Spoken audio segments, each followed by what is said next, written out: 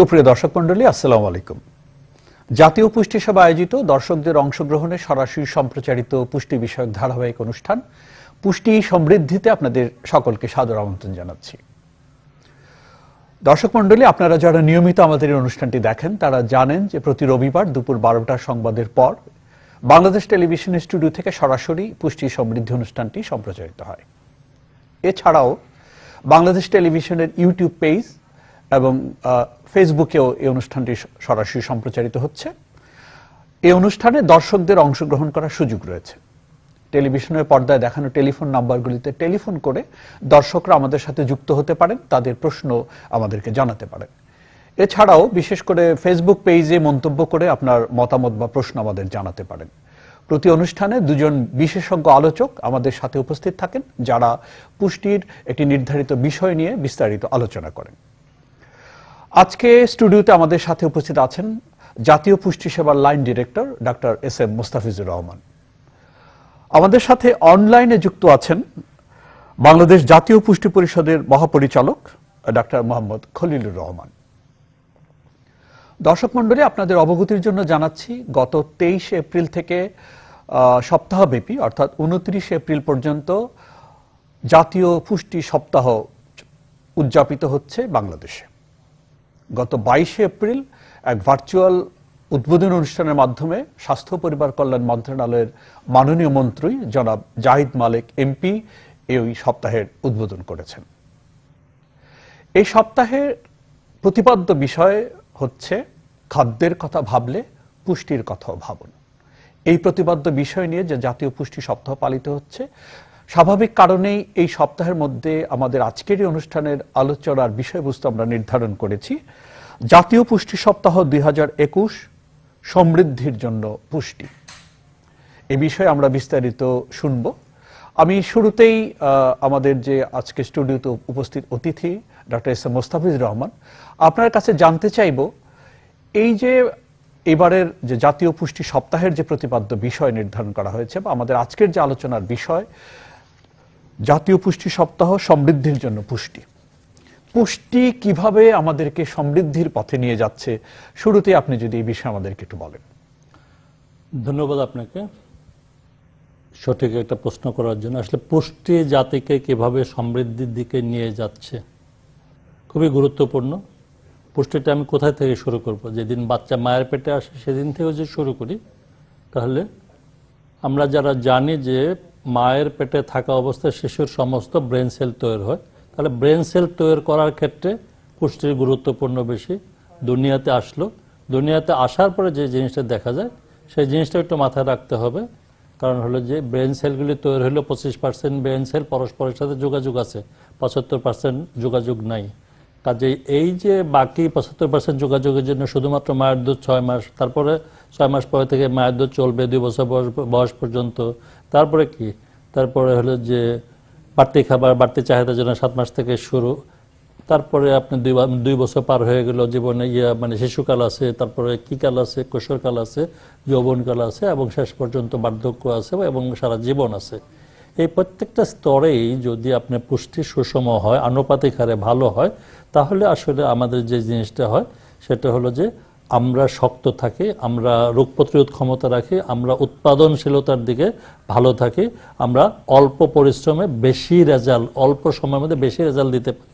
কাজেই পুষ্টি ভালো থাকলে সমৃদ্ধি বেশি আসবে কারণ আমরা বেশি পরিমাণে উৎপাদন করতে পারব। নাম্বার ওয়ান নাম্বার টু এই সময়টা পুষ্টি ভালো থাকলে আমাদের রোগ বালাই কম হবে কারণ রোগ বালাইটার সাথে শরীরের সুস্থতা এবং শরীরের সক্ষমতার একটা জরুরি অবস্থান আছে। যার জন্য আমাদের এবারে যে প্রতিপাদ্য বিষয়টা মানে পুষ্টি সপ্তাহে সেটা আমরা বলছি যে, যদি খাদ্যের কথা ভাবুন, তাহলে পুষ্টির কথাও ভাবেন। তাহলে আসলে পুষ্টির কথাটা আগে ভাবুন যে, কীভাবে আমি খাইলে আমার পুষ্টিটা ভালো থাকবে, রোগ প্রতিরোধ ক্ষমতা থাকবে ভালো থাকবে। সমস্ত রোগ বালাই থেকে আমি দূরে থাকব স্পেশালি এখন যে কোভিড চলতেছে, এই কোভিড নাইন্টিনের সাথে সম্পর্ক আরও জোরালো কারণ হল যে আপনি দুর্বল হলে আপনাকে আক্রান্ত করবে এবং আপনি সবল হলে আপনার সাথে যুদ্ধ করবে। যুদ্ধ করে এক পর্যায়ে ভাইরাসটা আপনার সাথে পারবে না। আপনি সফল থাকবেন, আপনি আল্লাহর রহমতে সুস্থ থাকবেন, আপনি দেশের জন্য কাজ করে যেতে পারবেন। ধন্যবাদ। ধন্যবাদ মোস্তাফিজুর আপনাকে। আপনি চমৎকারভাবে আহ, বিশ্লেষণ করে বলেছেন যে পুষ্টি কীভাবে আমাদেরকে সমৃদ্ধির পথে নিয়ে যাচ্ছে। আসলেই তাই যে পুষ্টি ছাড়া আসলে একটি জাতির পক্ষে সমৃদ্ধির পথে এগিয়ে যাওয়া সম্ভব নয়। এই বিষয়টি আপনার কথায় পরিষ্কার হয়ে উঠে এসেছে। আমি এবারে আমাদের অনলাইন অতিথি ডক্টর মোহাম্মদ খলিলুর রহমান মহাপরিচালক বাংলাদেশ জাতীয় পুষ্টি পরিষদ আপনার কাছে একটু জানতে চাইব, এই যে সপ্তাহ জুড়ে, তেইশ থেকে উনত্রিশ এপ্রিল পর্যন্ত আমরা জাতীয় পুষ্টি সপ্তাহ উদযাপন করতে যাচ্ছি বা পালন করতে যাচ্ছি কোন উদ্দেশ্যকে সামনে নিয়ে বা কোন লক্ষ্যকে সামনে নিয়ে এই সপ্তাহটি পালিত হচ্ছে, আপনি যদি একটু বিস্তারিত বলেন। ধন্যবাদ আমাকে জাতীয় পুষ্টি সপ্তাহের এই অনুষ্ঠানে আসলে পুষ্টি সপ্তাহের গুরুত্ব অপরিসীম বর্তমান পরিপ্রেক্ষিতে। আমরা সবাই জানি বর্তমানে কোভিড এর কারণে মানুষের ইমিউনিটি ডেভেলপ করা খুবই জরুরি হয়ে পড়েছে। ইমিউনিটি যদি ডেভেলপ করতে যাই, তাহলে পুষ্টির কোনো বিকল্প নাই। অর্থাৎ আমার লাইফস্টাইল আমার খাদ্যাভ্যাস সবকিছুতেই কিন্তু পুষ্টি নিয়ে আসতে হবে।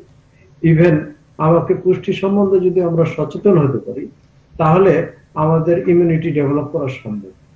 তো এই জন্য ব্যাপক জনগণ যাতে পুষ্টি নিয়ে সচেতনতা বৃদ্ধি পায় এই উদ্দেশ্য একটা যে আমাদের এই পুষ্টি সপ্তাহ পালন করার একটা বড় উদ্দেশ্য। পাশাপাশি আমরা আমরা সবাই জানি যে পুষ্টি উন্নয়নের বুনিয়াদ। অর্থাৎ আমরা যদি আমাদের দেশকে ডেভেলপড কান্ট্রি হিসাবে দেখতে চাই, তাহলে পুষ্টিকে বাদ দিয়ে ডেভেলপ কান্ট্রি চিন্তা করা কোনো অবস্থাতেই সম্ভব সুতরাং আমাদের যে উন্নয়নের ধারাবাহিকতা, এই উন্নয়নের ধারাবাহিকতা বজায় রাখার জন্য আমাদের নিউট্রিশনকে অবশ্যই সামনে নিয়ে আসতে হবে। এবং নিউট্রিশন যদি তার জায়গায় থাকে, নিউট্রিশন যদি সকল মানুষের বোধগম্য হয়, তারা তাদের জীবনযাত্রায়, তাদের খাদ্যাভ্যাসে তাদের নিউট্রিশনকে যদি গুরুত্ব দেওয়া হয়, তাহলে আমরা ভবিষ্যতে একটা উন্নত উন্নত জাতি হিসেবে পরিণত হতে পারব। এবং এই লক্ষ্যেই, এই উদ্দেশ্যে, এই পটভূমিকায় কিন্তু এবারের জাতীয় পুষ্টি সপ্তাহ এই কোভিড পিরিয়ডে রমজানের মধ্যেও অনুষ্ঠিত হচ্ছে। সুতরাং এই পুষ্টি সপ্তাহ বিরাট একটা গুরুত্বপূর্ণ ভূমিকা পালন করে ভবিষ্যৎ উন্নত জাতি গঠনে। অনেক ধন্যবাদ আপনাকে। আপনি যথার্থই বলেছেন, আমরা যদি একটু শুধুমাত্র মানুষের গড় আয়ু বাংলাদেশে আজকে যে পর্যায়ে এসেছে বাহাত্তর থেকে তিহাত্তর বছর বয়স পর্যন্ত, অথচ আমরা যখন স্বাধীন হইনি বা স্বাধীনতার সময়ে এটি ছিল পঞ্চাশ বছরের ঘরে এই যে আহ, গড় আয়ু বৃদ্ধির যে সাফল্য এটি দেশের আহ, স্বাস্থ্য ব্যবস্থা উন্নয়নের একটি চিত্র এবং পাশাপাশি দেশ সমৃদ্ধির পথে এগিয়ে যাওয়ার পথেও এটি একটি গুরুত্বপূর্ণ ভূমিকা রাখছে। আপনি যথার্থই বলেছেন যে পুষ্টিবিহীন একটি জাতি সমৃদ্ধির পথে এগিয়ে যেতে পারে না। আহ, আপনাকে অনেক ধন্যবাদ। আমি আবারও আসব আপনার কাছে। তার আগে একজন দর্শক আছেন আমাদের সাথে টেলিফোনে। আমরা একটু তার কথা শুনতে চাই। হ্যালো। হ্যালো আসসালামু আলাইকুম। জি ওয়ালাইকুম আসসালাম। আমি নাজমুল হুদা বলছি পাবনার সাতিয়া থেকে। অনেক ধন্যবাদ ভাই বলুন আপনি আমরা- আপনাকে শুনতে পাচ্ছি। আমার প্রশ্ন বাচ্চার যখন বয়স ছয় মাস হবে তখন থেকে কোন ধরনের পুষ্টিকর খাবার খাওয়ানো উচিত? অনেক ধন্যবাদ আপনি আমাদের সাথে থাকুন। আমাদের সাথে আছেন পুষ্টিবিদ এবং জাতীয় পুষ্টি সেবার line director doctor S M Mostafizur Rahman. আমি আপনাকে অনুরোধ করব এই দর্শকের প্রশ্নের উত্তর দেওয়ার জন্য। হ্যাঁ ধন্যবাদ আপনাকে। আসলে এই প্রশ্নের উত্তর দিতে গেলে ওই প্রশ্নকর্তাকে একটা ব্যাপারে একটু মানে সফলভাবে মানে জিনিসটা প্রশ্নটা করার ব্যাপারে একটু সাহায্য করি। এখানে ছয় মাস হবে না, আসলে ছয় মাস পূর্ণ হবে। ছয় মাস কমপ্লিট হয়ে সাত মাসে পড়বে, একশো আশি দিন পার হবে। একশো আশি দিন পর্যন্ত মায়ের দুধ, যথেষ্ট, বাচ্চার সমস্ত ধরনের পুষ্টি চাহিদা পূরণের জন্য। কাজেই ছয় মাস পূর্ণ হওয়ার পরে কি খাবে? সে তো ছয় মাস পূর্ণ হওয়ার আগের দিন পর্যন্ত মায়ের দুধেই একশোতে একশো কিলো ক্যালোরি পাইতো। যা দরকার সবই পাইতো। তাহলে পরের দিন একশো একাশি নাম্বার বা বিরাশি নাম্বার দিন বা ওই সপ্তাহ বা ওই মাসটা তার নিশ্চয়ই অনেক বেশি কিলো ক্যালোরি বাড়তি লাগবে না। কাজেই পরের মাসে যে জিনিসটা করবে, সবসময় মাথায় রাখবেন, বাচ্চা না, সবার জন্যই বা রাখবেন, সুষম খাবার লাগবে। খাবারটা যেন সুষম হয়, ছয় ধরনের খাবারই থাকে, আমিষও থাকে শর্করাও থাকে মানে চর্বিও থাকে ভিটামিন, মিনারেলস, পানি সবই থাকে। এবং অনুপাতটা যেন শর্করার যেন হয় তিন, প্রোটিনে এক চর্বিতে এক, বাকিটুকু আসলে ভিটামিন, মিনারেলস থেকে হইল, পানি থেকে হইল, যাই হইল হইল। তাহলে কি খাওয়াবেন? তার কি তখন দাঁত আছে? না, দাঁত নেই। সে কামড়াতে পারবে? না কামড়াতে পারবে। তাকে দিতে হবে আসলে চুষে খাওয়ার মতো কিছু একটা জিনিস। এবং এটা আমার মনে হয় যে একেবারে অনেকগুলি খাবারের মিশ্রণ খিচুড়ি দিয়ে শুরু না করাই ভালো। একটা একটা করে খাবার তাকে আপনি চিনাইতে হবে। প্রথম সপ্তাহে সারা মাসে পাওয়া যায়, সারা বছর পাওয়া যায় বাংলাদেশে। সেটা হলো যে আপনার কলা। হুম। একটা ছোট্ট কলা আস্তে আস্তে সারাদিনে যদি একবার, দুইবার একটু ট্রাই করে, ছোট কলাটা সারাদিনে প্রথম দিনই পুরো কলা খেতে বলি না। তো এরকম তিন, চার দিনে একটা ছোট কলা খাওয়া শেখান। তার তিন, চার দিন পরে সময় নিয়ে আপনি যদি মনে করেন যে আরেকটা খাবার শেখাবেন, ভালো কথা, সেটা আপনি ইয়া শেখাইতে পারেন। একটা ডিমের, ডিমটা এক সপ্তাহ ব্যাপী শেখেন ডিমের কুসুম খাওয়া শেখাবেন, অল্প অল্প করে। কলাটা যখন খাওয়া শিখাইছেন, কলাটা খাওয়া, কলাটা কোনো একটা সময় ফিক্সড করেন যে এটা আমি দুইবার মায়ের দুধের মাঝখানে দেবো সকাল আটটা, নয়টার দিকে ফাইন তারপরে আমি ডিম খাওয়া শেখাবো পরে সাত দিন বা দশ দিন মিলায়। প্রথম দিনে যদি পুরো ডিমটা খাওয়াই, বাচ্চার পেট নষ্ট হয়ে যাবে। তখন আবার মনে করেন ডিম হজম হয় না। কাজে এরকম তিন, চারটা আইটেম এক মাসে, যেগুলো আপনি বাড়িতে আছে, বাইরে থেকে কোনো ধরনের ফর্মুলা কেনার কোনো দরকার নেই, কারণ তাতে বাচ্চার লাভ হবে না, ক্ষতি হবে। আপনার কাছে হয়তো মনে হচ্ছে যে বিজ্ঞাপন দেখে এটা অনেক লাভজনক জিনিস, ওই জায়গায় ভুলেও যাবেন না। কারণ যতই লাভজনক জিনিস হোক, ওগুলি কোনো কেমিক্যাল কোনো ইয়া প্রিজারভেটিভ দেওয়া আছে, যেটা বাচ্চার পরবর্তী সময় নানাবিধ প্রবলেম করবে, আর দুই নম্বর মানসিক বিকাশে বাধা দেবে। এইভাবে আস্তে আস্তে এক সপ্তাহ, দুই সপ্তাহ পর একটা খিচুড়ির ব্যবস্থা করেন। এবং এখানে কিছু চাল দেন, ডাল দেন, ইয়া দেন মানে হলে একটু ডিম দেন অথবা মাছ অথবা মাংস ইয়া দেন, অল্প পরিমাণে দেন। তাও রান্না না করতে পারলে বাসায় যেটা রান্না হয়েছে, অল্প একটু ভাত নেন, তলায় থেকে একটু মানে ঘন ডাল নেন, মাছ, মাংস, ডিম যে কোনো একটা অংশ নেন, সবজি জাতীয় জিনিসপত্র নেন, একটু কাঁচা তেল দিয়ে মাখান। এক চামচ কাঁচা তেল দিয়ে মাখান। কেন কাঁচা তেল দিবেন? রান্না করার সময় তো সব তেল দিছেন। কাঁচা তেল দিয়ে যেটা লাভ হয়, এটা হলো ওখানে কিছু ইয়ে আছে, শাকসবজির মধ্যে কিছু ভিটামিন আছে, যেটা আমরা বলি fat soluble vitamin vitamin A D E K এই যে ভিটামিন এ ডি ই কে সমৃদ্ধ যতগুলি শাকসবজি ভেজিটেবল আছে, এদের হজম করার জন্য এই তেলটা জরুরি। আর এক চামচ তেল দশ চামচ ভাতের সমান শক্তি দেয়। অর্থ স্টমাকের সাইজ ছোটো, পাকস্থলীর সাইজ ছোট। তো এইভাবে আস্তে আস্তে আপনি এক বছর পর্যন্ত ওই মায়ের দুধের ফাঁকে ফাঁকে, মায়ের দুধ খাওয়ালেন, একটা গ্যাপ দিলেন, ওটা খাওয়ালেন, তারপরে মায়ের দুধ খাওয়ালেন আর গ্যাপ দিয়ে।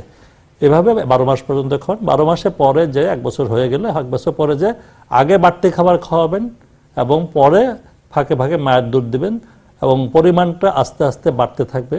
দুই মায়ের দুধের মাঝখানে পরিমাণও বাড়তে থাকবে ফ্রিকোয়েন্সিও বাড়তে থাকবে।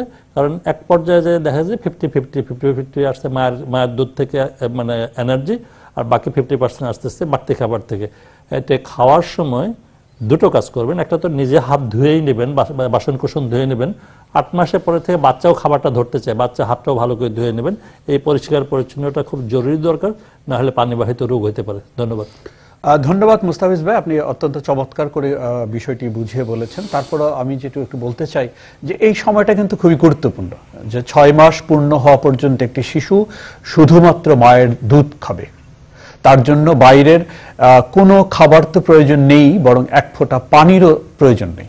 এই বার্তাটি আমরা প্রতিদিন, প্রতি মুহূর্তে যেন স্মরণ রাখি সবাই, বিশেষ করে যাদের পরিবারে। এই শিশু জন্মগ্রহণ করেছে এবং যার বয়স এখনও ছয় মাস পূর্ণ হয়নি, তারা এই কথাটি খুব একদম ভালো করে মনে রাখবেন যে ছয় মাস বয়স অবধি, অর্থাৎ মোস্তাফিজ যেটা বলেছেন যে একশো আশি দিন পূর্ণ হওয়া পর্যন্ত একটি শিশুর জন্য তার একমাত্র খাবার হচ্ছে তার মায়ের দুধ। এই সময়ে তাকে অন্য কোনো বাইরের খাবার দিতে হবে না দেওয়ার প্রয়োজন নেই। একশো আশি দিন পূর্ণ হয়ে যাওয়ার পর থেকে এই খাবারের যে পরিবর্তনটি আনা দরকার, যেটি মোস্তাফিজ ভাই ভালো করে বলেছেন, এটি খুবই গুরুত্বপূর্ণ। কারণ এই শুরুটা যদি সঠিক না হয়, পরবর্তীতে শিশুকে কিন্তু খাদ্য যে আমরা যেভাবে খাওয়ানোর কথা বলি, সেটি পূর্ণাঙ্গ রূপে প্রতিফলন ঘটানো কঠিন হয়ে পড়ে, কখনো কখনো অসম্ভব হয়ে পড়ে। আমাদের সাথে আরও একজন দর্শক আছেন, আমরা একটু তার সাথে যুক্ত হতে চাই, তার কথা শুনতে চাই। হ্যালো হ্যালো হ্যাঁ জি বলুন আমরা শুনছি।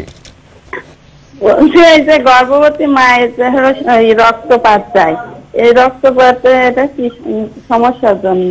কয় মাসের গর্ভবতী তিনি? দুই মাস। দুই মাস হয়েছে। প্রশ্নটি যদিও আমাদের পুষ্টির সাথে সম্পর্কযুক্ত নয়, ধন্যবাদ আপনাকে যে আপনি আমাদের অনুষ্ঠান দেখছেন, প্রশ্ন করেছেন। একজন স্ত্রী রোগ বিশেষজ্ঞ বা প্রসূতি বিশেষজ্ঞ বিদ্যা বিশেষজ্ঞ হলে হয়তো ভালো হতো। তবু যেহেতু আমরা ডাক্তার কয়েকজন আছি আমি একটু মোস্তাফিজ ভাইকে অনুরোধ করতে পারি যে এই দর্শকের প্রশ্নের জবাবে আপনি কি বলবেন? না, আমার মনে হয় যে আপনার উত্তরই ঠিক আছে। কারণ হলো যে, এই রক্তপাতের পিছনে কারণ কি? এই রক্তপাতের পেছনের কারণটা আইডেন্টিফাই করার জন্য একজন এসি রোগ বিশেষজ্ঞই দরকার এবং উনি আপনাকে ভালোভাবে পরীক্ষা করে দেখবেন পেছনের কারণটা কি এবং কারণটা উদ্ভাবন করবেন, আইডেন্টিফাই করবেন, করে সেই অনুযায়ী ব্যবস্থা নেবেন। ডাক্তারের কাছে যাওয়ার আগ পর্যন্ত আপনি যে সময়টা আছেন সেই সময়টা অবশ্যই বিশ্রামে থাকবেন। কারণ হলো যে রক্তপাত হলে আপনি প্রেগনেন্সি টিকবে না, গর্ভের অবস্থাটা টিকবে না। এবং এটা আপনার জন্য একটা যে কোনো মহিলার জন্য, যে কোনো পরিবারের জন্য একটা ভালো খবর না একটা কষ্টের জিনিস। কাজে আপনি যত দ্রুত পারেন, কাছাকাছি একজন এসি রোগ বিশেষজ্ঞের সাথে দেখা করুন। ধন্যবাদ। ধন্যবাদ। দর্শক, নিশ্চয়ই আপনি বুঝতে পেরেছেন আপনার প্রশ্নের উত্তর যেটি বলা হয়েছে। আপনি আশা করি সেভাবেই অনুসরণ করবেন। আমি আবার একটু ডক্টর খলিলুর রহমান আপনার কাছে আসতে চাই।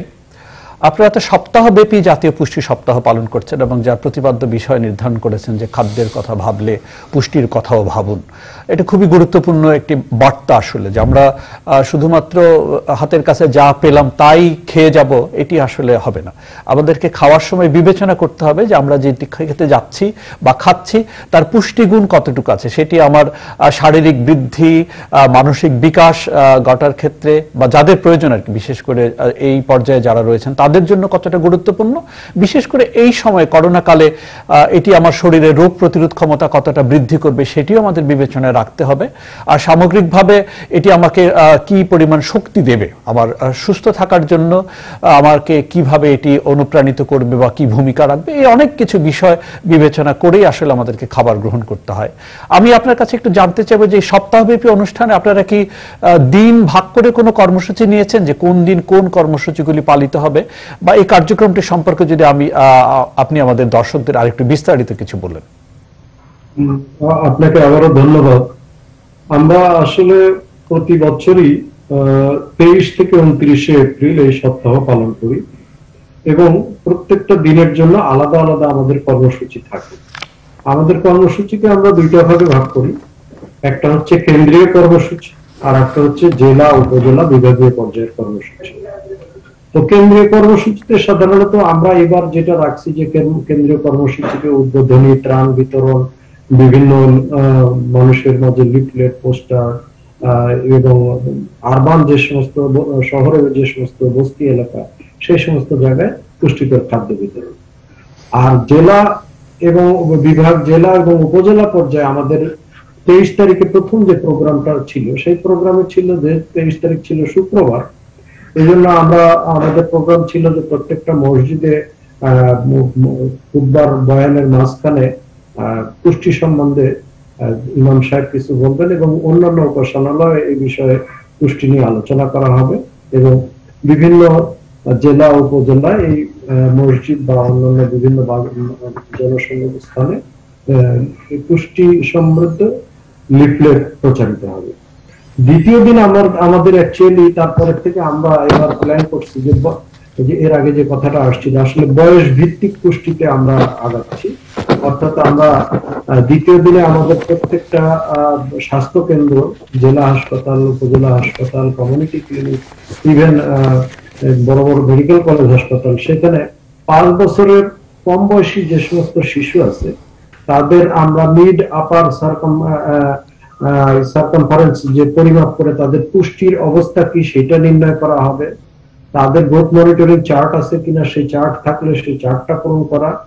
কিশোর কিশোরীদের পুষ্টি বিষয়ে কাউন্সিলিং এটা একটা খুবই ইম্পর্টেন্ট ইস্যু যেটা দিয়ে আমরা ভবিষ্যৎ প্রজন্ম করতে পারি। এই জন্য এই- এই বয়স এবং গর্ভবতী মহিলাদের যে আমাদের অ্যান্টিনেটাল কেয়ার দেওয়া হয়, সেখানে কাউন্সিলিং প্রদান ধন্যবাদ। খলিল ভাই, আপনাকে একটু ইন্টারাপ্ট করতে হচ্ছে যে আমরা জোহরের নামাজের আজানের একটু বিরতিতে যাব। বিরতির পরে এসে আপনার কথা আবার শুনব। দর্শক মন্ডলী, আমরা জোহরের আজানের বিরতিতে যাচ্ছি। বিরতির পর আবার চলে আসব অনুষ্ঠানে। সে পর্যন্ত আমাদের সাথেই থাকুন।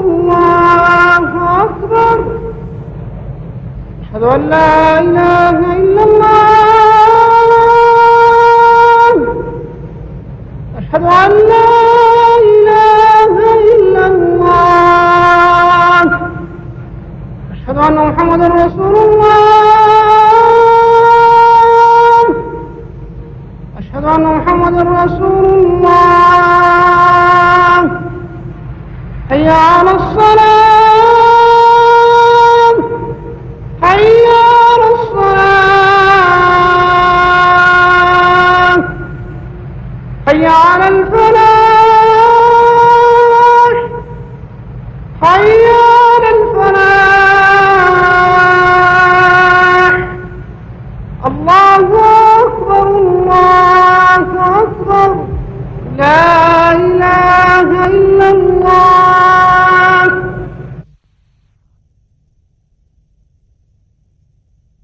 اللهم رب هذه الدعوة التامة والصلاة القائمة.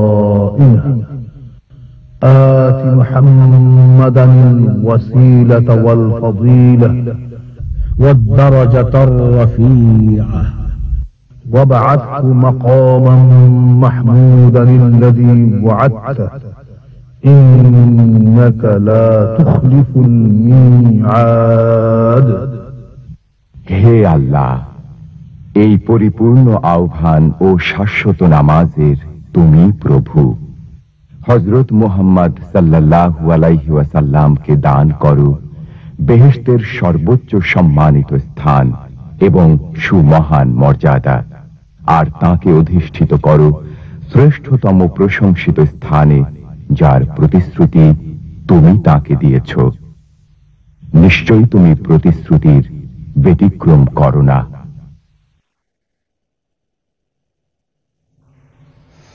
দর্শক মন্ডলী আজানের বিরতির পর আমরা আবার ফিরে এসেছি পুষ্টি সমৃদ্ধি অনুষ্ঠানে। আপনাদের আবারও স্বাগত জানাচ্ছি।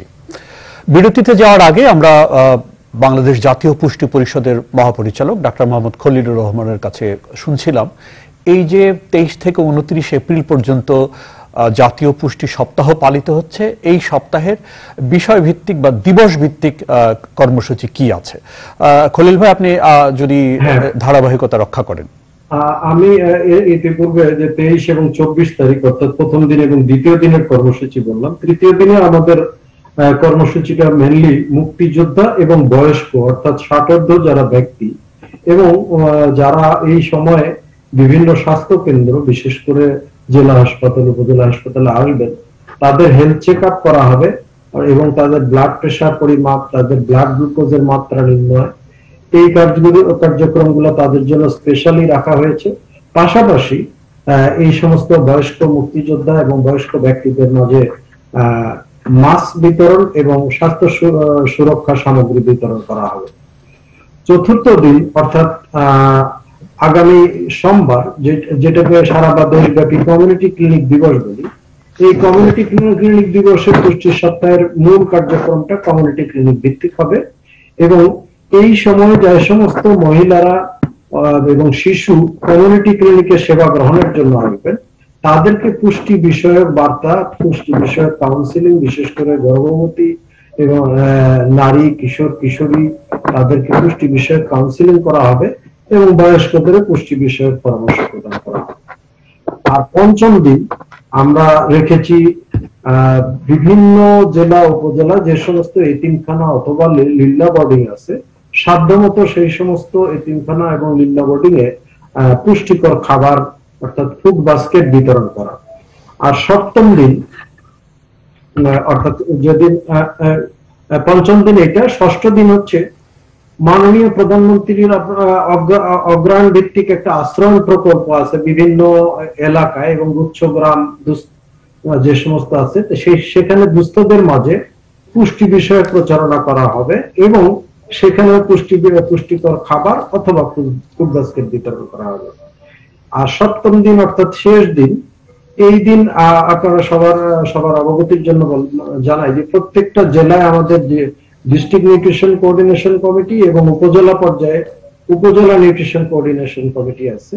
অর্থাৎ জেলা পর্যায়ের সকল সরকারি কর্মকর্তা সহ জনপ্রতিনিধি এবং উপজেলা পর্যায়ের সকল কর্মকর্তা সহ জনপ্রতিনিধি, তাদের নিয়ে যে কমিটি গঠন করা হয়েছে, সেই কমিটি পুষ্টি সপ্তাহ উপলক্ষে একটা আলোচনা সভা করবে, একটা মান্থলি মিটিং করবে এবং সেই মিটিং এর মাধ্যমে তারা আসলে তাদের জেলা এবং উপজেলায় পুষ্টির পরিস্থিতি তুলে ধরবে এবং বিভিন্ন ডিপার্টমেন্ট তাদের অগ্রগতি, তাদের কার্যক্রম পুষ্টি বিষয়ক কি কি কার্যক্রম তারা গ্রহণ করছে, সে বিষয় তুলে ধরবে এবং প্রত্যেকটা জেলা থেকে তিনটা উপজেলা, শ্রেষ্ঠ উপজেলাকে নির্বাচিত করা হবে।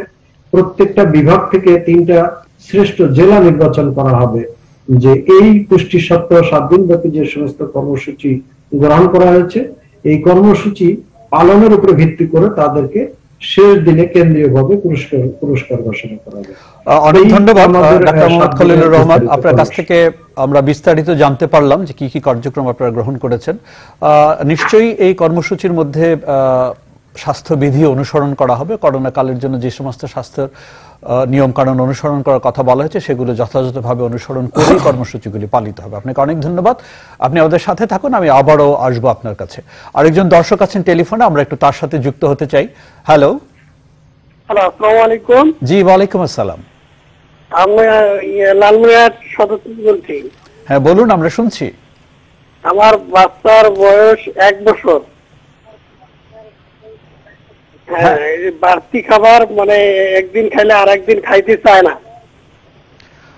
আপনি একটু কি বলবেন যে এই মুহূর্তে আপনি এক বছর বয়সে শিশুকে কি খাবার খাওয়াচ্ছেন? কি জাতীয় খাদ্য খাবার তাকে খেতে দিচ্ছেন? খাওয়াচ্ছি মানে একটু সাদা ভাত মাংস প্রতিদিন মাছ আর ডিমের কুসুম।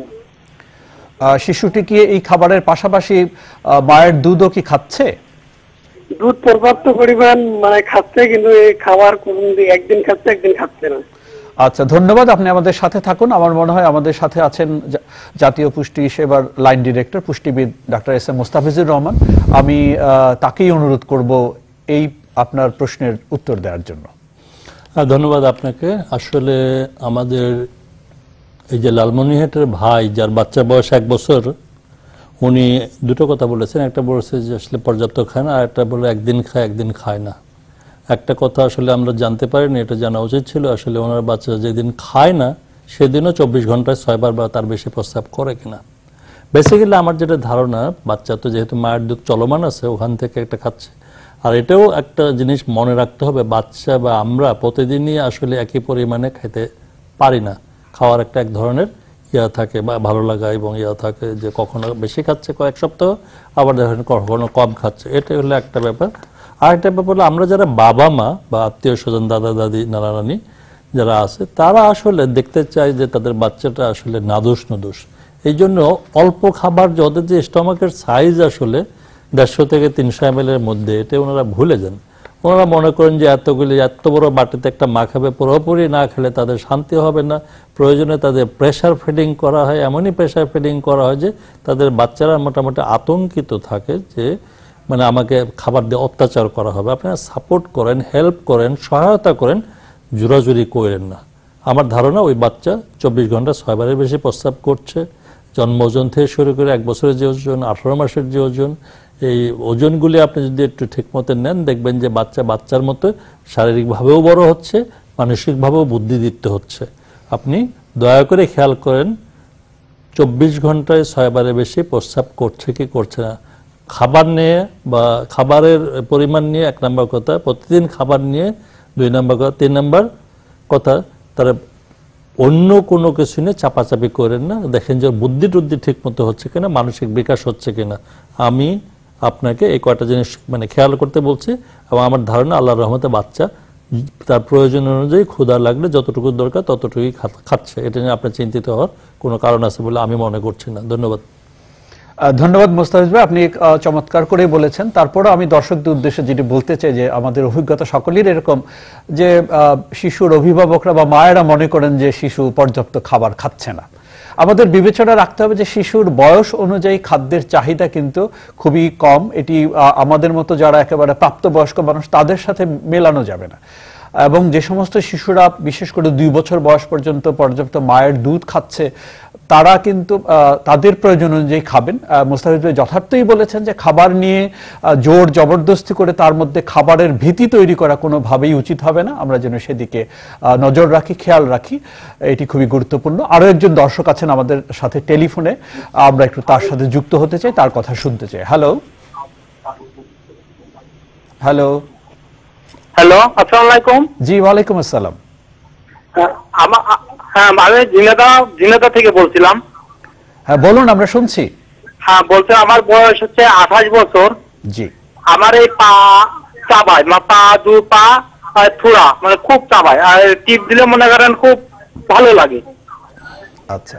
আপনি একটু আঠাশ বছর বয়স আপনার উচ্চতা বা ওজন বলতে পারবেন? আমার ওজন আমার ওজন হচ্ছে সাত সাতষট্টি কেজি। আর উচ্চতা? হাইট হ্যাঁ হাইট উচ্চতা। হাইট হচ্ছে পাঁচ ফুট তিন ইঞ্চি। পাঁচ ফুট তিন ইঞ্চি। আপনি কি একটু বলবেন আপনি কি খাবার খেলে বুঝছেন? ওই যে ক্যালসিয়াম অভাব পূরণ পারে একটু বলবেন। আচ্ছা আচ্ছা ঠিক আছে। আপনি কি একটু বলবেন যে আপনি কি ধরনের কাজ করেন বা কি করেন সাধারণ? আমি বসে থাকা বেশি কাজই করি মানে ছোট একটা দোকান আছে দোকানে বেশি বসি। আচ্ছা আচ্ছা আচ্ছা। ঠিক আছে ধন্যবাদ আপনাকে। আপনি অনেক দূর থেকে আমাদের অনুষ্ঠান দেখছেন এবং টেলিফোন করেছেন। আপনি আমাদের সাথে থাকুন। আমি আবারও যাচ্ছি আমাদের জাতীয় পুষ্টি সেবা line director doctor S M Mostafizur রহমানের কাছে। এই দর্শকের প্রশ্নের জবাব যদি আপনি একটু বলেন। আমি যদি ঠিক মতো বুঝে থাকি ওনার শরীর ব্যথা করছে সাতষট্টি কেজির মূলত পা ব্যথা করছে পা হ্যাঁ, পাঁচ ফুট তিন ইঞ্চির একটা ভদ্রলোক এবং উনি অ্যাডাল্ট মানুষ কাজে বাদ জোড়ার কোনো সম্ভাবনা নেই। উনি নিজেই ক্যাটাগরি ক্যাটাগরিক্যালি একটা জিনিস মেনশন করছেন ক্যালসিয়াম। আমি যদি ক্যালসিয়ামের কথা বলি তাহলে উনি দোকানদার মানুষ, ওনার কিন্তু লম্বা সময় মোটামুটি একই পজিশনে বসে থাকার হয়তো অভ্যাস হয়ে গেছে কিন্তু মানে এতে তার মানে জবের প্যাটার্ন বা তার চাকরি প্যাটার্ন অনুযায়ী একটু কিছুক্ষণ পরে পরে ওটা একটু হাঁটাহাঁটি করলে হয়তো ইয়া হবে। আর ক্যালসিয়াম বাজারে যেগুলো পায়, ওগুলো তো আপনি মনে হয় ইতিমধ্যে খেয়েও ফেলেছেন ব্যথা বড়ি দুই চারটা হয়তো খেতে পারেন, নাও খেতে পারেন। আমাদের খাদ্য থেকে যদি নেই, আমরা তো একটু গ্রামের দিকে তো দই, দুধ পনির এগুলো তো পাওয়াই যায়, মাছ, বাদাম, সোয়াবিন, এই জিনিসগুলির মধ্যে ক্যালসিয়াম ভালো থাকে। এবং এই ক্যালসিয়াম খাওয়ার পাশাপাশি আমি মনে করব যেটা, সেটা হলো আপনি একটু রেগুলার এক্সারসাইজ করতে হবে। দুই নাম্বার কথা, যে খাবারগুলি আমি বললাম, ওই খাবারগুলি আপনার খাওয়ার ব্যাপারে একটু যত্নশীল হতে হবে। তারপরেও কাছাকাছি একজন ফিজিক্যাল মেডিসিনে একজন ডাক্তারের কাছে যাবেন। আর আপনি যদি মুসলমান হয়ে থাকেন, তাহলে অনেক সময় দেখেন তো এর সাথে গরুর মাংসের কোনো সম্পর্ক আছে কিনা। রেড মিটের মানে এই টাইপের মাংসের কোনো সম্পর্ক আছে কিনা? গরুর মাংস খাওয়ার পরে ব্যথাটা বাড়ছে কিনা? এই জিনিসগুলো একটু খেয়াল করবেন। এবং তারপরে আমি বলব যে অবশ্যই একজন মেডিসিন স্পেশালিস্ট অথবা যদি ফিজিক্যাল মেডিসিনের কারোর সাথে একটু দেখা করেন পিছনের কারণটা ওনারা ধরতে পারবেন এবং পরীক্ষা হয়তো দু একটা লাগবে। কারণ হলো যে এই বেশি বয়স না, অল্পই বয়স, মাঝারি একটা বয়স, এই বয়সে এই ব্যথা মানে শুরু হলে, আপনি তো আপনার মতো ক্যালসিয়াম, এই, ওই খাওয়া শুরু করবেন, খাবার থেকে নেওয়া শুরু করবেন বাট একটু এক্সারসাইজ করবেন এবং ডাক্তারের সাথে দেখা করবেন। এই প্রত্যাশা এবং এই অনুরোধ রেখেই আমি থামছি। ধন্যবাদ। ধন্যবাদ। দর্শক, আপনি নিশ্চয়ই শুনেছেন আমাদের এস এম মোস্তাফিজুর রহমান যে কথাগুলো বলেছেন। আমার মনে হয় যে এগুলো আপনি অনুসরণ করে দেখতে পারেন এবং খাদ্যে ক্যালসিয়ামের কোন কোন খাবারগুলি খেলে শরীরে ক্যালসিয়াম হয় বা ক্যালসিয়ামের অভাব রোধ করা যায় সেগুলো তিনি বলেছেন। কাজে আপনার প্রশ্নের উত্তর আশা করি আপনি পেয়েছেন। এগুলো অনুসরণ করে দেখুন। যদি কোনো উন্নতি না হয় সেক্ষেত্রে তিনি যথার্থই বলেছেন যে আপনার উচিত হবে একজন চিকিৎসকের পরামর্শ নেওয়া। আবারও ধন্যবাদ জানাচ্ছি আপনাকে আমাদের অনুষ্ঠান দেখার জন্য। আমাদেরকে টেলিফোন করে আপনার সমস্যা জানানোর জন্য। আমি আবার একটু আমাদের বাংলাদেশ জাতীয় পুষ্টি পরিষদের মহাপরিচালক ডাক্তার মোহাম্মদ খলিলুর রহমানের কাছে আসতে চাই। আপনি শুরুতেই বলেছিলেন যে এই বছরটি আমরা একটি করোনার মহামারী কাল অতিক্রম করছি, আবার রমজান মাসও চলছে। ধর্মবান মুসলমান যারা তারা সিয়াম সাধনা করছেন, রোজা রাখছেন। এরকম একটি সময়ে কেন এই যে পুষ্টি সপ্তাহটি পালন করতে হচ্ছে তার প্রেক্ষাপট আপনি বলেছেন। তো আমি বাংলাদেশ গত এক, সারা বিশ্বের মতোই এক বছরের বেশি সময় ধরে করোনার বিরুদ্ধে আমরা লড়াই করছি। করোনার কখনো একটি নিয়ন্ত্রণের মধ্যে আসছে, আবার বেড়ে যাচ্ছে। যখন এই মুহূর্তে আমরা বলছি যে করোনাটা একটু বেড়ে গেছে, আমরা সকলেই জানি। এই পর্যায়ে জাতীয় পুষ্টি পরিষদ, এই যে করোনাকে, করোনার বিরুদ্ধে লড়াই করে কীভাবে মানুষকে টিকে থাকতে হয় বা এই ধরনের কোনো বার্তা কি আপনারা এই যে সব পুষ্টি সপ্তাহের আয়োজনের মধ্যে রেখেছেন কিনা? এবং সেই বার্তাগুলো কীভাবে তাদের কাছে পৌঁছে দিচ্ছেন? আমি ইতিপূর্বে আপনাকে দর্শকদের উদ্দেশ্যে বলেছি যে সাত দিনের প্রোগ্রামটা আমাদের ছিল আসলে বয়স ভিত্তিক আমরা বিভিন্ন প্রোগ্রামটা নিয়েছিলাম। তো যার জন্য আমাদের বার্তা, এই- এই সপ্তাহের বার্তাগুলোও কিন্তু বয়স ভিত্তিক অর্থাৎ আমরা যেমন ষোলো কোটি মানুষই প্রায় জানি যে ডায়রিয়া হলে ওআরএস খাওয়াতে হবে। ঠিক তেমনি ভাবে আমাদের ষোলো কোটি মানুষের কাছে আমরা পৌঁছে দিতে চাই যে জন্মের এক ঘণ্টার মধ্যে শিশুকে সাবুত খাওয়াতে হবে। এই কথাটা আমাদের এই পুষ্টি সপ্তাহে আমরা ব্যাপকভাবে প্রচার করতে চাই।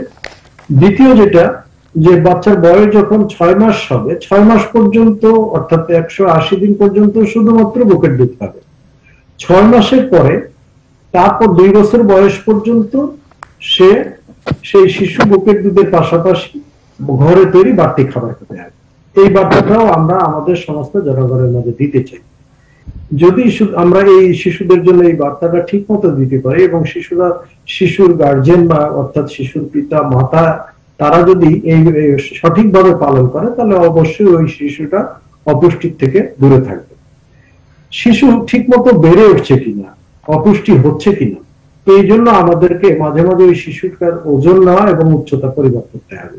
এই বার্তাটাও আমরা শিশুর পিতা মাতার কাছে দিতে চাই যে আপনি খাওয়াচ্ছেন, আপনি ঠিক মতো সবকিছু করছেন। পাশাপাশি আপনাকে ফলো আপ করতে হবে যে বাচ্চার ওজনটা ঠিক মতো বাড়ছে কিনা এবং হাইটটা ঠিক মতো হচ্ছে কিনা। এইটা যে কোনো স্বাস্থ্য প্রতিষ্ঠানে গেলে এটা করা। এই সপ্তাহে আমরা বিশেষ জোর দিয়ে করছি। আর কিশোর কিশোরী যারা আমরা কিশোর কিশোরীদেরকে বলি যে এই সময় তাদেরকে কিছুটা বাড়তি খাবার দিতে হবে। কারণ একজন প্রেগনেন্ট মা, একজন কিশোর কিশোরী। এই এই দুই গ্রুপকে যদি আমরা ঠিক মতো নার্সিং করতে পারি ঠিক মতো পুষ্টি সেবা দিতে পারি, তাহলে আমরা ভবিষ্যতে একটা সুন্দর জাতি পাবো। যার জন্য আমরা কিশোর কিশোরীদেরকে এই সময় সমস্ত কিশোর কিশোরী প্লাস যারা কিশোর কিশোরী পিতা মাতা তাদেরকেও বলি যে তাদের কিশোর কিশোরীদের জন্য আলাদা পুষ্টিকর খাবারের উৎসাহিত করার জন্য। অনেক ধন্যবাদ ডক্টর রহমান। আপনাকে ধন্যবাদ জানাচ্ছি। আমরা অনুষ্ঠানের শেষের দিকে চলে এসেছি। যদি সময় পাওয়া গেলে আবারও আপনার কাছে আসব। আপনি আমাদের সাথেই থাকুন। দর্শক আপনাদের কাছে যে বার্তাটি ডাক্তার মোহাম্মদ খলিলুর রহমান বলেছেন এটি খুবই গুরুত্বপূর্ণ। এটি একেবারে গবেষণায় প্রমাণিত হয়েছে যে যে- যে সমস্ত শিশুরা দুই বছর বয়স পর্যন্ত মায়ের দুধ এবং যথাযথ পুষ্টি পেয়ে থাকেন। পরবর্তী জীবনে তারা আমাদের যে নন কমিউনিকেবল ডিজিজ যে অসংক্রামক রোগ যেগুলো আছে, সেগুলোতে কম ভোগেন। যেমন ডায়াবেটিস উচ্চ রক্তচাপ হার্টের অসুখ কিডনির অসুখ এই সমস্ত রোগে তারা কম ভোগেন। এটা প্রমাণিত। আর যে কথাটি তিনি বলেছেন, এমন এই সময়ে শিশুদের শরীরে রোগ প্রতিরোধ ক্ষমতা বৃদ্ধি করা খুবই দরকার। আমরা এটাও গবেষণায় দেখা গেছে যে যারা, যাদের শরীরে রোগ প্রতিরোধ ক্ষমতা যত বেশি, তারা কিন্তু করোনার বিরুদ্ধে লড়াই করে তারা টিকে থাকছেন এবং অন্যান্য এই ধরনের ভাইরাস, ব্যাকটেরিয়া বাহিত রোগের বিরুদ্ধে তারা লড়াই করে সুস্থ থাকছেন, ভালো থাকছেন। কাজে এই যে বিষয়টি যেটি, যে শিশুর দুই বছর বয়স বা তার পরবর্তী সময়টা পর্যন্ত তাদের শারীরিক বৃদ্ধি এবং মানসিক বিকাশের জন্য পুষ্টির ব্যবস্থা নিশ্চিত করা আমাদের সকলের দায়িত্ব। আমরা পরিবারের সদস্যরা যারা আছি, তারা যেন এই বিষয়টি খেয়াল রাখি। আমাদের আরও একজন দর্শক আছেন টেলিফোনে আমরা একটু তার সাথে যুক্ত হতে চাই। হ্যালো। জি আসসালামু আলাইকুম। ওয়ালাইকুম আসসালাম। আমি এস এম রকিবুল হাসান বলছিলাম জামালপুর থেকে। জি বলুন। ডাক্তার মোস্তাফিজুর রহমানকে একটা প্রশ্ন হ্যাঁ বলুন তিনি শুনছেন। জি আমার প্রশ্নটা হলো আমার বাচ্চার বয়স আজকে দেড় মাস কিন্তু বাচ্চার প্রস্রাব মোটামুটি ঠিক আছে ছয়বার আরও বেশি করে। কিন্তু পায়খানা করে একটু একটু করে পায়খানা একটু ফেনা ফেনা জাতীয় পায়খানা যখন করার সময় একটু মুচটামুচি করে আর ফেনা ফেনা পায়খানা একটু পানি আসে। সেক্ষেত্রে বাচ্চার কোনো পুষ্টি বা কোনো সাজেশন যদি থাকে? এরকম পায়খানা দিনে বা চব্বিশ ঘন্টায় কতবার করে বলতে পারবেন? মিনিমাম আট থেকে দশ বার। আট থেকে দশ। এটা কি রাতেও যখন ঘুমানোর সময় বা শুয়ে থাকে তখনও করে না শুধু দিনের বেলাতেই? জি রাত্রেও করে। রাত্রে ঘুমানোর সময় দেখা গেল যে তিন চারবার হয়। আর দিনের বেলা তো পরিমাণটা পাঁচবার পরিমাণটা শুনে আচ্ছা পরিমাণটা কেমন? প্রতিবারে যখন হচ্ছে তখন পরিমাণটি কেমন? পরিমাণটা একটু কম কমই আসে। মানে মনে হচ্ছে যে ক্লিয়ার হয় না এরকম। আপনি একটু বলবেন? আচ্ছা আপনি যদি আমাদের একটু বলেন যে আপনার এই শিশুটিকে কি জাতীয় খাবার খাওয়াচ্ছেন? না শুধুমাত্র মায়ের বুকের দুধই চলছে আর তার বয়স কত হয়েছে বলেছেন? দেড় মাস। দেড় মাস। দেড় মাস আচ্ছা। অনেক ধন্যবাদ আপনাকে। কিন্তু অনেক পায়খানা করার সময় অনেক আহ, বা প্রস্রাব করার সময় অনেক মুচটামুচি করে বাংলা কথা যেটা বলি একটু লাড়াচাড়া করে একটু ই করে তারপরে প্রস্রাব পায়খানা করে। অনেক ধন্যবাদ দর্শক আপনি আমাদের সাথে থাকুন। আহ, মোস্তাফিজুর রহমান ভাই আপনি যদি এই দর্শকের প্রশ্ন আচ্ছা ধন্যবাদ আসলে এই ভদ্রলোককে কারণ ভদ্রলোকের বাচ্চা মায়ের দুধ ছাড়া কিছুই খায় না। এটার জন্য তাকে ধন্যবাদ। এবং আমি দুই তিনটে জিনিস বলতে চাই। একটা হলো যে একটা বাচ্চা আসলে কতবার পায়খানা করবে, এটা একটা সিদ্ধান্ত দরকার। সিদ্ধান্তটা অলরেডি দেওয়া আছে। একটা বাচ্চা তিন দিন পরেও পায়খানা করতে পারে। এটাও নর্মাল সারাদিনে অল্প অল্প করে আঠারো বার পর্যন্ত পায়খানা করতে পারে। এটাও নর্মাল এবং পায়খানা করার সময় কেউ খুব একটা আনন্দে করে না, একটু মানে নড়াচড়া করবে, একটু মস্তামস্তি করবে, একটু ইয়ে। এবং মায়ের দুধ খাওয়ার সময় যেটা করবে, সেটা হলো পুরো কালো অংশটা যেন একটু ভিতরে ঢুকে। শুধুই মাত্র বোটাটা যেন ভিতরে না ঢোকে। তাহলে হয় কি, বাতাসটা ঢুকবে না। বাতাসটা ঢুকলে সে একটু অস্বস্তি হয়ে থাকে।